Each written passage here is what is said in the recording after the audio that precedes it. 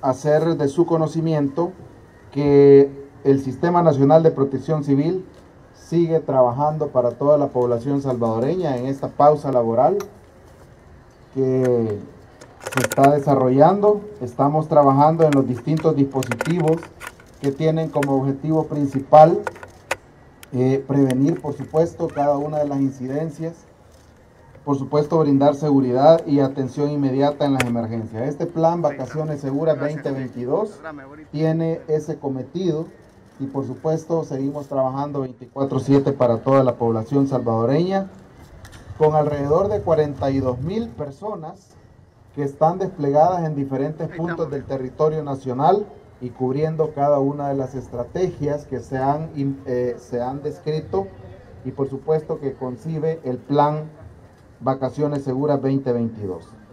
Es importante que sepan que como parte de este mecanismo de coordinación que estamos ejecutando en el marco de esta operatividad, siguen en cada una de las playas y parques acuáticos donde tenemos presencia los 232 guardavidas de la Dirección General de Protección Civil del Ministerio de Gobernación, Estamos cubriendo 110 puntos de playa. A ellos se le suman también equipos de salvamento acuático de la Policía Nacional Civil y de instituciones de socorro como la Cruz Roja, Comandos de Salvamento y Cruz Verde.